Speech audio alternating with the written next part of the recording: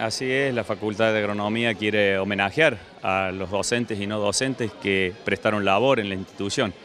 Después de 30, 35 años de, trabajo y de esfuerzo, de trabajo en la educación, hoy llega el día de reconocimiento a todos ellos.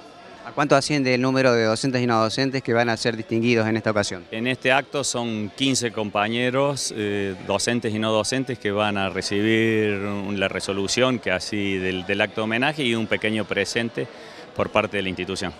El hecho en sí ya quedó para, este, para quedarse ¿no? en espacio y tiempo, si bien ahora a medida que se vayan este, jubilando, tanto trabajadores docentes como no docentes, este tipo de reconocimiento se va a seguir efectuando por parte de la facultad. Sí, así es, esta es la tercera ocasión que hacemos, ya hemos tenido en otras oportunidades una gran cantidad de docentes y en la medida que van realizándose las jubilaciones correspondientes, juntamos a un grupo determinado y hacemos este, este, acto. Así que en futuros años también vamos a hacer este tipo de homenaje porque es muy merecido para todos ellos que han prestado su labor en la institución. Son muchos los años precisamente que han estado trabajando activamente ¿no? en el seno de la facultad, tanto en las disciplinas de agronomía como en las disciplinas de veterinaria. Sí, así es, tanto son, son docentes y no docentes de la Facultad de Agronomía y Veterinaria y en este contexto también es importante destacar que hay compañeros de, distintas disciplinas y áreas temáticas, de veterinaria como de agronomía, y distintas áreas de, la parte no docente, de la actividad no docente, que son tan importantes también